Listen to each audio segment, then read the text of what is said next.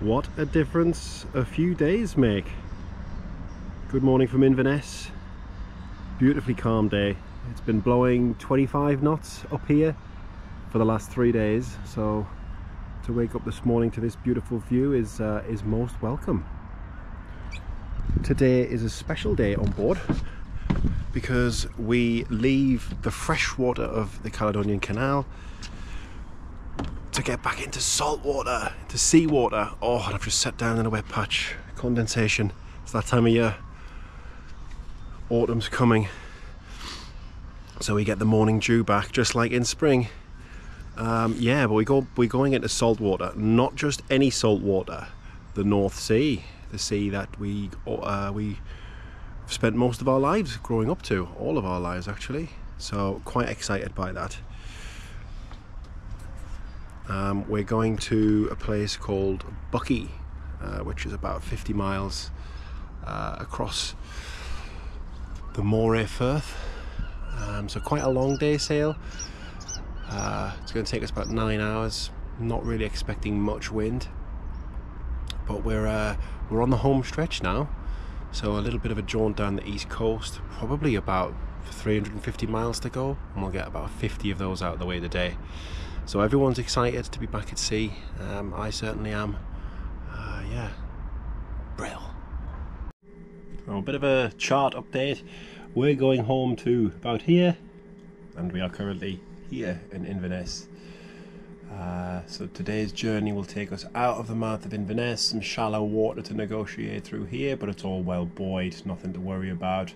Tidal stream's going to be going with us, um, so that's pretty nice as well, obviously. Um, we're coming all the way along the coast, past Lossiemouth, where there's a major RAF base, to Buckie.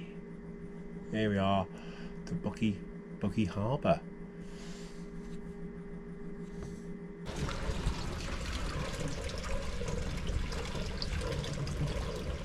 We are in the final lock, the sea lock, which means we are going back to sea.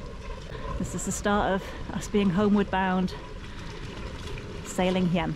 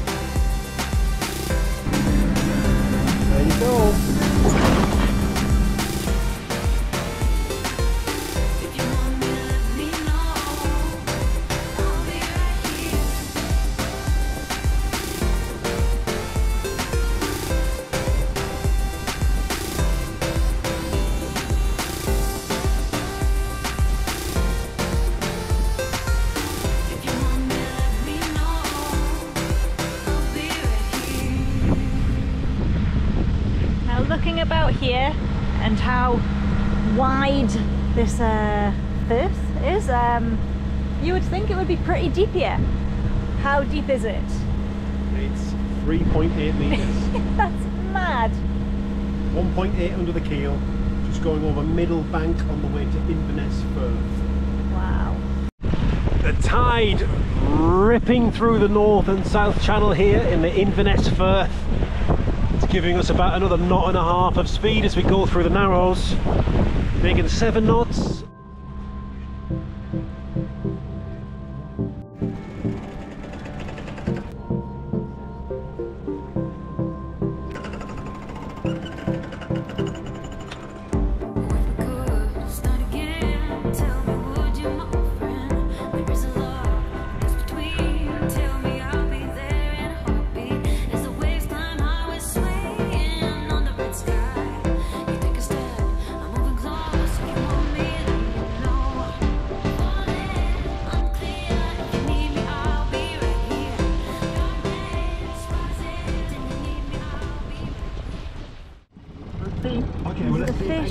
Is it a seaweed? You know, that's never happened before when someone says, oh, actually, one of the number ones is Oh, he got away! first one on the way. Oh my god, he got away! Side, Swanley A20, the bypass westbound. is You wait stopped ages for a fish and you get two at once. M5 northbound. Thank you. Back with another one, half an hour. Thank you, Bobby. We have now from Lanzarote. Coming in right now. It's temporarily jammed. You fucking stupid bird. He's talking to the seagull. I'm not talking to you, am I? That's about the same size. Rob's throwing that one back. He thought it was a bit on the small side, and we've already got three. It's enough for us.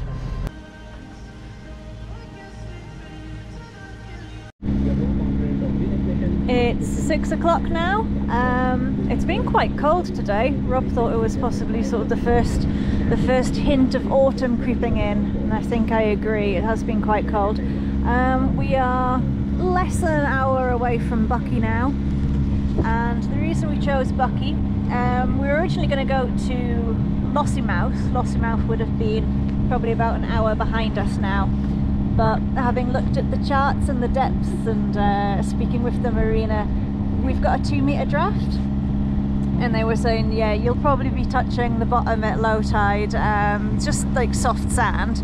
Um, and the same at Whitehills when we looked at Whitehills, they've got a really nice long visitor pontoon, but again we'd be we'd be touching the bottom. So we've gone for Buckie, which is a commercial harbour, um, but supposedly very welcoming. And when I spoke to the harbour master yesterday, he was like, "Yes, just give us a give us a radio when you're on your way, and we'll get you get you in. It won't be a problem." And they've got plenty of depth there, so we are looking forward to getting there, getting moored up, getting the dog out for a walk, and I think someone is looking forward to some more fish and chips.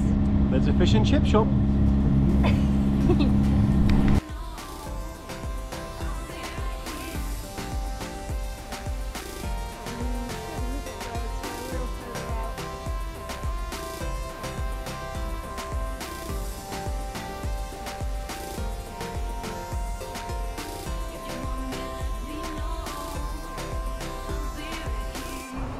And we're in.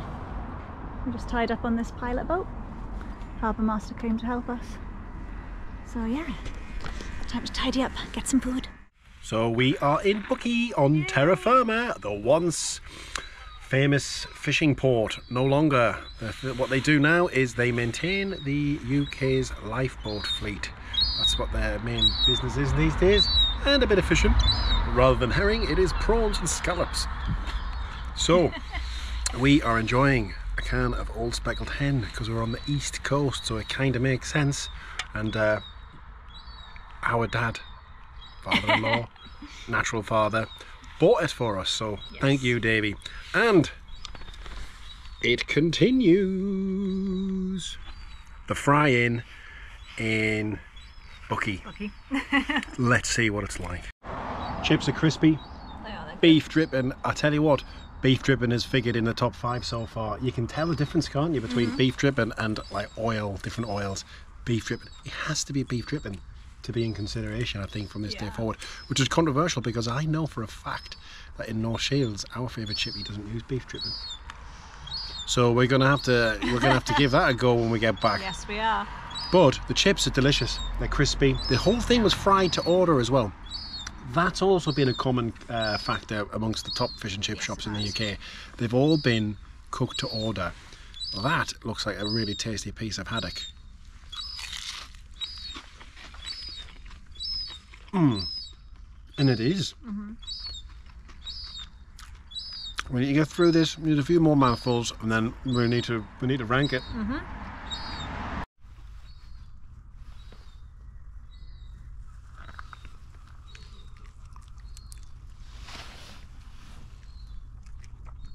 What do you think, Yui? Yui, what do you think? You gonna sit? Oh, that's a good girl. Well, what do you think? That was good fish and chips. I think it's in the top five, but I don't know where it sits in the top five. Well, it's definitely not in the top two because the top two is still Belfast, Long John's, John Long's, whatever it's called, And the and good in and the good one in Oban, not the one with um, that Italian. What's his name? The guy Gino. who the guy who pissed on Paul Young's rug in a burglary. Look it up. I'm not lying. Gino. Gino. Gino De, Gino D'Acampo, former burglar. um, so it's not in the top two.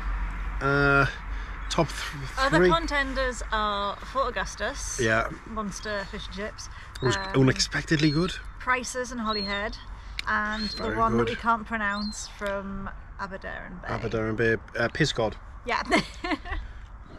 Um, well, this one was cheap. It was nine pound thirty. I mean, a few years ago that would have been absolute daylight robbery for fish and chips. But uh, it's actually quite cheap on in the UK at the moment for fish and chips. Um, so there's that to consider. But I think Aberdaron Bay was better, um, and I think that um, therefore Prices? prices was really good as well. It's difficult. It I'm- I, I think we boot. Well, recency bias. I think we boot prices for this one. Okay, so it's number five. Yes. Right. Not that we're even remembering really, but uh, it was good. It was good. If you if you're ever in Buckie for whatever reason, um, give the fry in a go. It's got good fish and chips, good honest haddock and chips. Very had good. haddock supper. I also saw deep fried pizzas. I mean, what the, what the what?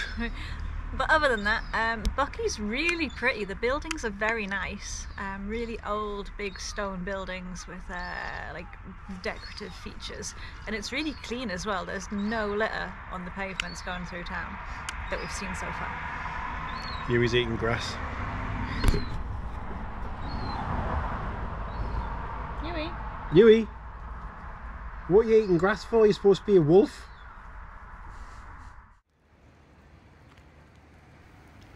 Following morning, we took Yui for a nice long walk, admired all the yarn bombing that had been going on in Buckie, and then decided to pop into some fishmongers to see if we could get some salmon and prawns to go with the lovely mackerel we caught yesterday. So, without further ado, it's Skipper Rob's cooking show. So, what do you do on a rest day in a commercial port in Scotland? You cook a delicious meal because you've got to keep your crew happy and you've got to keep your bellies full. Today, we're going to be cooking a smoked salmon, avocado, prawn kind of chili mix, which is delicious. Very delicious. And we're also going to cook the South American classic ceviche. For ceviche, you need really, really fresh fish. It has to be bloody fresh fish. Um, no, you can't do it with really with frozen fish or anything like that, to my knowledge, anyway. So, I caught this mackerel yesterday afternoon from the sea, from the Firth of Moray, or the Moray Firth rather, um, and I've skinned it. Sorry, not skinned it. I filleted it, um, gutted it, and so on, and chopped it into pieces about like one centimeter, half a centimeter across. It's important that they're all the same size so that they cure at the same time. But uh, yeah, delicious. So the first thing we'll do to the mackerel is get the acid on. This is the juice of four limes and the juice of half an orange. Your cooking is starting straight away. You want to get some salt in it. Be generous with the salt and use good salt. Don't use table salt for this. Now I've added some chopped or finely chopped red onion and half a finely chopped red chili. And last but not least, a small bunch of finely chopped coriander. Give it all a mix around and leave it to cure for about 10 minutes, 15 minutes. Cherry tomatoes. A chopped avocado, make sure it's a ripe one. Half a finely chopped red onion. Half a finely chopped red chili. Some chopped smoked salmon. Some chopped prawns, king prawns. The juice and peel or zest of a preferably unwaxed lemon. Some chopped fresh coriander. Extra virgin olive oil. and give it all a good mix around. I swear, if you make this for a loved one, you will get whatever you want from said loved one. You can serve these dishes with whatever you like some warm bread, some flour tortillas, um, some taco shells. I'm opting for just slightly salted um, tortilla chips. They give a lovely crunch as you're eating both of these dishes, but you must have a glass of white wine with it. Delicious white wine, cold, beautiful white wine. Sophie, I think it's fair to say that both of these dishes are right up your proverbial street. Yes, no, I love seafood. Uh, love all things citrus and avocado as well, and chili. It's just got all my favourite things in it. yes. Any final words? Yeah, dig in. And what's the verdict on the ceviche, Faye? I'm just about to try it. I'm gonna try it without um, the taco. Mmm. The flavour is lovely, and that's just the right amount of spice.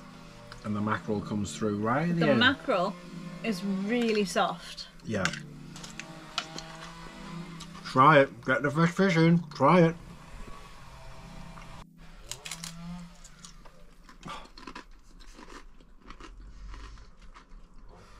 That is so good.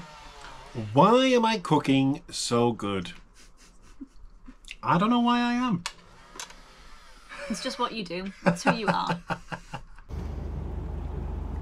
Well, it's evening here in Buckie, and Yui's going to go for her little wee at the bow before bed. Um, I've really liked Buckie. I know it's not as scenic as uh, some of the places we've been, but I guess it reminds me of home. It reminds me of North Shields. We've got the RNLI over there. They've just come in. I'm hoping they've just been, um, I don't know, practicing, doing some uh, exercises, and that they haven't been called out. But um, good fish and chips, good fishmongers, lovely seafood. Um, yeah, it kind of reminds me of home. Speaking of home, join us next week as we continue our North Sea adventure and get this little Geordie, Mackham, and Welsh Terrier one step closer to North Shields. As always, like, comment, and subscribe